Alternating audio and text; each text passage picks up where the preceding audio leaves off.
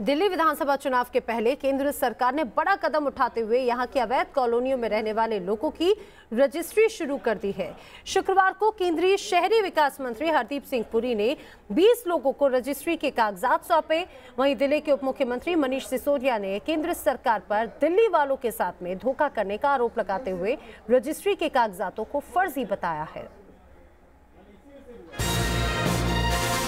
दिल्ली की कच्ची कॉलोनियों में घर बनाकर रहने वाले लाखों लोगों के लिए शुक्रवार का दिन खुशियों वाला था। केंद्रीय मंत्री हरदीप सिंह पुरी ने एक कार्यक्रम में इन कॉलोनियों के 20 बाशिंदों को खुद उनके घर की रजिस्ट्री के कागजात सौंपे। इस मौके पर उन्होंने दावा किया कि छह महीने में कच्ची कॉलोनियों में रहने वाले सभी लोगों को रजिस्ट्री के कागजात सौंप दिए जाएँगे। पहले 20 को और आने वाले दिनों में इन मल्टीप्लायर्स ऑफ़ दिस बड़ी तेज़ी से मिलेंगे। सर पचास लाख लोगों को मिलेगा ये? लाख है पचास लाख है।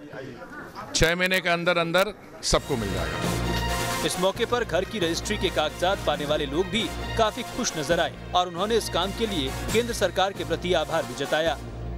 मुझे बहुत अच्छा लग रहा है कि मुझे मोदी जी से गिफ्ट लग रहा है कि हमें नए साल पे मोदी जी ने गिफ्ट दिया है हमें। मोदी जी ने कहा था ना लोग कि पंद्रह लाख रुपए मिलेगी मुझे तो लगा दस गुना ज़्यादा मिल गई दिया हमारे को ज़िंदगी का तोहफा दे दिया करोड़ों रुपए हमारे नाम करा दिए हमारे पक्के वो हो गए। इन कागजों के तहत हम बैंकों में लगा के अपने व्यापार में अपने काम धंधे में किसी भी चीज़ में ओके कर सकते हैं। रहने का घर पक्का एक कोठी वाले के सामने हमारी कोई वैल्यू नहीं थी। अब कोठी वाले से ज़्यादा हमारी वैल्यू है।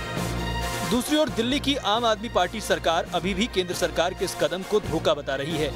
दिल्ली के उप मुख्यमंत्री मनीष सिसोदिया का दावा है कि लोगों को रजिस्ट्री के नाम पर फर्जी कागजात दिए जा रहे हैं। मैं कहना चाहता हूँ कि ये दिल्ली के अनऑथराइज कॉलोनीज में रहने वाले 40 लाख लोगों के साथ एक बहुत बड़ा धोखा किया जा रहा है। 20 लोगों को कुछ फर्जी कागज़ पकड़ाए गए हैं और जिसके नाम पर दावा किया जा रहा है कि हमने अब रजिस्ट्री करना शुरू कर दिया है। हालाँकि दिल्ली सरकार के इस दावे को बीजेपी ने पूरी तरह से खारिज कर दिया। पार्टी का दावा है कि आम आदमी पार्टी चुनावी फ़ायदे के लिए झूठ बोलकर दिल्ली वालों को बरगलाने की कोशिश कर रही है। झूठ बोल रहे हैं, गुमराह कर रहे हैं डिस्करेज कर रहे हैं लोगों को, वहाँ जाके बोल रहे हैं, ये सब नाटक है। ये नाटक है? ये रजिस्ट्री मिलना, ये नाटक है। दिल्ली में कच्ची कॉलोनी को रेगुलराइज करने का मुद्दा हमेशा ही एक बड़ा मुद्दा रहा है।